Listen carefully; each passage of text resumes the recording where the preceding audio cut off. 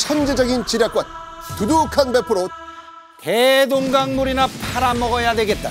조선 팔도 최고의 꾀쟁이 김선달. 저것은 닭이 아니라 보인 것 같소. 진짠가?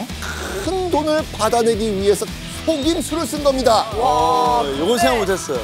단량을 주겠다면서 제발 한번 나와 주십시오. 와 머리 좋다 진짜. 잡을 방법도 없잖아. 조선에서 전설적인 존재가 된 꾀쟁이 김선달. 지게를 짊어진 물장수들은요 계속해서 대동강을 찾아옵니다. 김선달에게 돈을 준 거예요. 내가 짬판에 제대로 놀아난 거지. TVN 스토리